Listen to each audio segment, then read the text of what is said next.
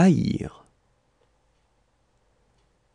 Je hais, tu es, il est, elle est, on est. Nous haïssons, vous haïssez, ils haïssent, elles haïssent.